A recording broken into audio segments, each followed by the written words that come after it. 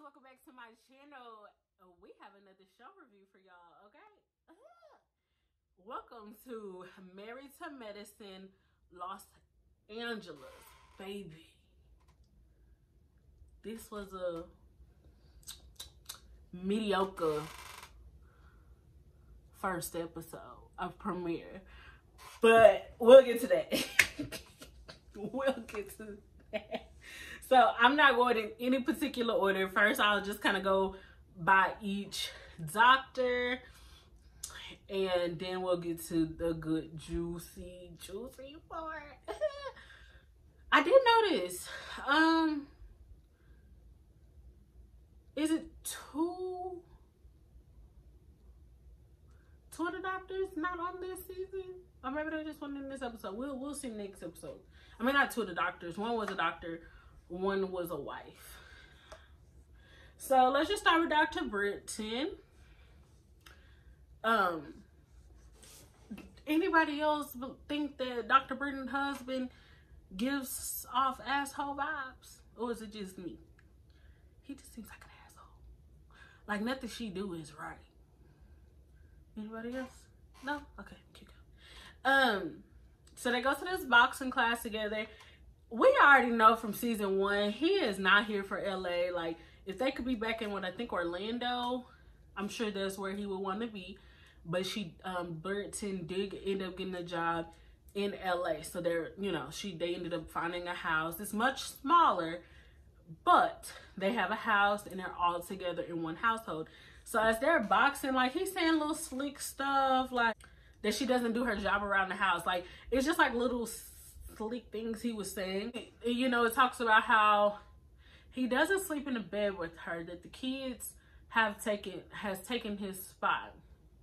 So I don't know if that stems from they're going through some things or what. But if them kids are just sleeping in your bed and you kick your husband out, sis, y'all already struggling, like struggling in the romance and uh, being on the same page. Baby, kick them kids out and put them in their room. I, I don't have kids and I ain't married, so I mean, what do I know? But you know, um, I don't think that's gonna help. Let's move on to Dr. Imani. I love Dr. Imani. Baby, she is like, I girl crush over her. She is just so beautiful to me. Like, she is fine. Like, I don't know. She is gorgeous. I love her personality. But, um, so it cuts to her and her son Idris. They are, you know, cooking dinner. And her husband Phil isn't there. And I hope they survive. Like, I like them together from what we saw last season. I actually really did like them. But he um is a musician. He was in band in the 90s. I don't know the name of it. I don't know what songs they had. But um, she mentions that the music industry isn't as lucrative anymore, especially as for artists. And so he's in Oklahoma. He's been there for three months and he's starting a business there. And so I'm just like, I don't see her moving to Oklahoma leaving this, but I want them to make it. Then they go to Jasmine. I don't like her. They go to J Jasmine. She just tries too hard, and she actually says it later in the episode. Like, you know, she's trying to impress impress the rest of the ladies. Um, some of the ladies from Atlanta came, and she's trying to impress them. She just does the most for me. I don't really care for her, but you know, maybe by the end of this season she'll grow on me. I don't know. So she has a rental v a villa. How can I talk? She has a rental villa in Beverly Hills, I believe. Baby, that villa looks really nice, and she has. She's talking about the concierge business that she has. So like, um, you can rent cars and you can rent all of this. But is the Bentley that people are renting the Bentley that you're driving? I would I ask asking for myself because they look like the same picture of the Bentley you and Shanique was riding in. But you know, I don't have a business, so let me shut up. We still ain't seen her husband. Who is her husband? What do her husband do?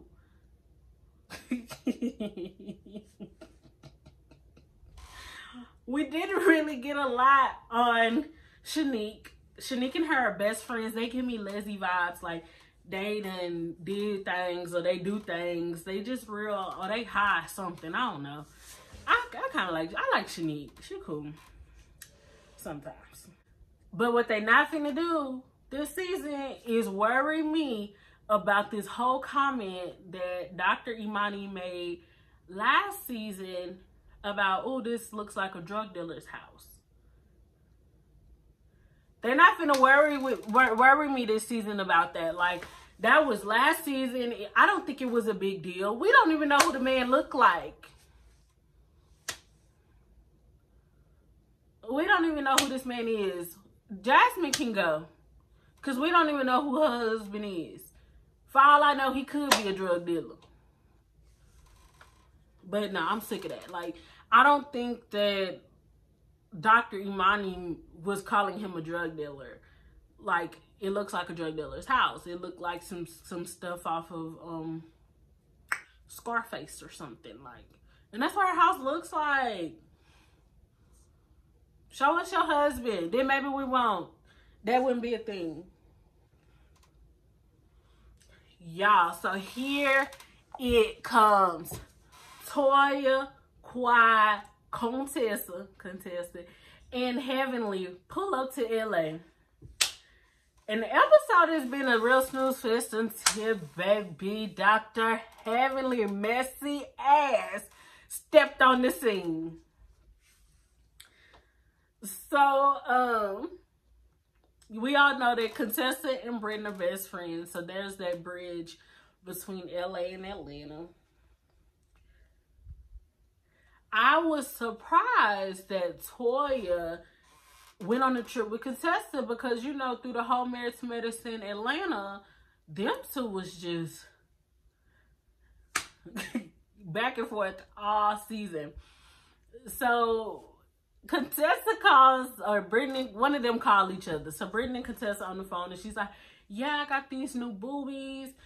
And it pans to Toya's face, and Toya's just like,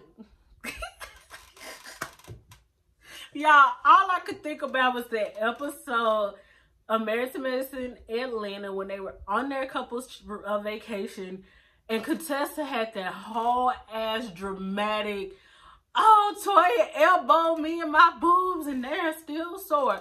And she elbowed me on purpose, y'all. And I swear Bravo is petty because they panned them cameras to Toya as Contessa was saying it. So they're staying at Jasmine's rental home. Of course, for Jasmine, this is the perfect opportunity to market, which is smart. Hey, show them a good time so that, you know, they can tell their friends to rent out the villa. Baby, my line sisters, if we come back to LA again, we'll see if we can afford it. so somebody was like, oh, Jasmine, like this is, your house is nice. This is not my home. Like it kind of went fast and they didn't make a big deal out of it, but and I think I want to say it was Contessa, and she was like, "Well, it is one of your homes," and she's like, "It's an investment property." Girl, like And then here go Heavenly, starting with her shit. First off, she said, I thought that Jasmine was too beautiful to be smart, but she's just like me. So, Dr. Heavenly, if you're beautiful, you can't be smart. But then she talks And then he go Heavenly talking about uh Jasmine is the LA version of what Toya want her life to be. Dr. Heavenly, don't come for Toya. I love Toya. Toya has almost become one of my, like, if not my favorite housewife or doctor's wife, like whatever, she's up there, okay?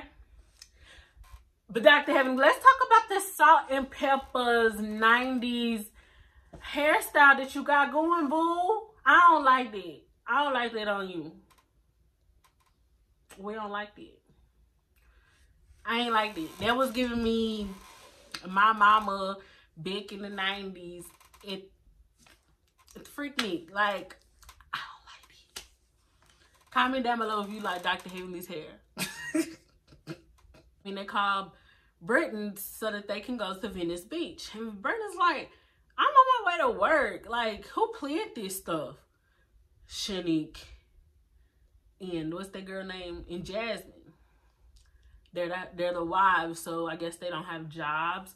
But um, Shanique did tweet like, "I work a nine to five, unlike some of these doctors that work a few days a week." She did tweet that like a few like an hour or two ago. So I guess she told y'all. um, but they all go to Venice except for Dr. Heavenly and Dr. Imani. They went on a hike. So Dr. Heavenly is with Dr. Imani on this hike, baby. And I tell you, Bravo does an amazing job with their edits. So Dr. Heavenly, they only 50 feet, I think, in elevation. And she asked, um, you do this every day? Because you know Dr. Heavenly ain't with the working out. And I ain't either. Yeah, I don't like working out, baby. Surgery me up. Baby, the first chance I get. Dr. Imani did tweet, and I, I had some time to read the tweets um, before this, that she loves Dr. Heavenly, but she will not be going hiking with her ever again. And I believe it, because I know Dr. Heavenly cut the fool. Dr. Heavenly probably rolled back down that hill. Dr. Heavenly probably stopped after they caught that scene, okay? Jasmine don't eat nothing. I'm over her. Like, everything is just like like she's so LA, like she's so Cali, and like I don't know if that's just a bad stereotype, but sis, baby, us Southern women love to eat. We like a good meal. So Quad is like, cause she ordered a salmon, y'all. This this here. She orders a salmon with no seasoning. Quad is like, baby, I need a, a, a dash of salt or something on my food. And she was that Quad was talking about how she's older, um, it still looks and you know, body is still snatched. And I'm just like, well, surgery is surgery is a real thing. Not saying that she probably wouldn't be snatched without it, but moving on again, so they're trying to get Dr. Imani and Jasmine to become cool again. But again, they not finna worry me about this freaking comment that Dr. Imani made last season. Like, Dr. Imani apologized. If Jasmine didn't take it, then oh the well. Moving on. Like, that's not finna be the storyline this season. They have this cocktail girls night and you know, Dr. Heavenly, baby. Dr. Heavenly made this episode. Because without Dr. Heavenly, it would have been a boring uh, AF. So, Dr. Heavenly, um, this, Dr. Kendra comes in. We get introduced to Dr. Kendra. Now, she just had a baby three months ago. Or at the time, three months ago. And Dr. Heavenly is like, she ain't got nobody like Jasmine or Dr. Imani.